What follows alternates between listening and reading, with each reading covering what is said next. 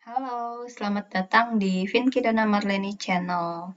Sekarang kita mau bahas tentang Zoom ya, Zoom meeting yang sering digunakan di era pandemi ini.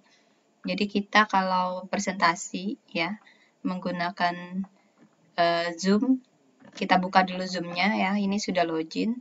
Kemudian new meeting. Nah, ini kita tunggu sampai muncul. Nah, sekarang muncul Nah, ini biasanya kita presentasi ya. Kita join dulu. Join. Nah, ini tampilan standar ya. Menggunakan virtual background.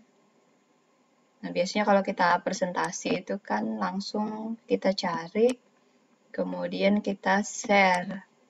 Nah, seperti ini ya. Nah, ini kita share screen. Nah, kita mau presentasi seperti ini. Nah, jadi muncul kotak begini ya.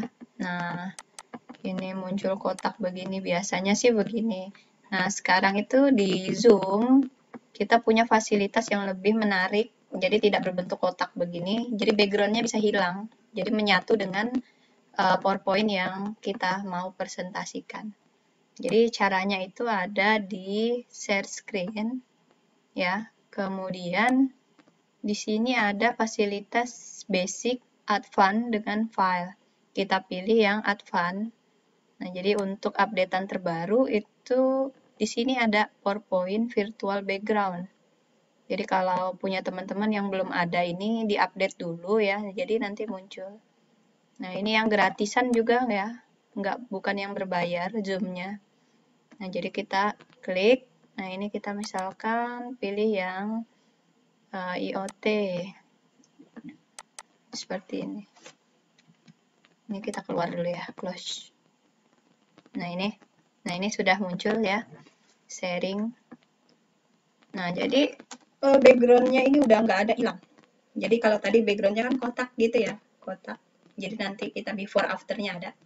Nah ini sudah kita pas-pasin aja. Nah ini Nah, jadi di sini kita sudah ada fasilitasnya. Jadi backgroundnya udah hilang, menyatu dengan uh, PowerPoint yang mau kita gunakan. Jadi sangat mudah sekali. Jadi untuk uh, updatean terbaru itu dia ada. Nah, jadi kita tinggal next ya, next. Kemudian dia sudah nyatu begitu. Nah, jadi kalau kita klik dia bisa kita pindahin ke kiri ke kanan ya. Nah, mau agak atas atau bawah. Nah, ini. Jadi bisa kita atur-atur posisi kita ada di mana. Tinggal diklik aja di gambar kita mau kita pindahin ke atas misalnya atau ke tengah seperti ini ya. Nah, jadi ada posisinya begini. Mau di kiri, kanan, atas, bawah bisa ya. Nah, ini bisa kita pindah. Jadi kita tidak menggunakan background lagi, jadi backgroundnya udah nyatu dengan uh, PowerPoint yang ada. Jadi sangat mudah dan sangat menarik ya sekarang karena kebutuhan. Nah ini tampilan standar Tadi tinggal share screen, kemudian pilih yang ada basic, ini yang seperti biasa. Kemudian kalau advance, pilih yang PowerPoint virtual background. Kita share, kita pilih mau yang mana ya. Kita pilih PowerPoint-nya mau yang mana. Nah ini kita muncul. Nah ini, tadi background-nya hitam, sekarang agak biru ya. Ini jadi kita bisa uh, ya kelihatan. Ini untuk monitor kita di atas ya. Ya baiklah itu sekedar tips dan trik ya supaya nggak bosan menggunakan virtual meeting atau pertemuan online.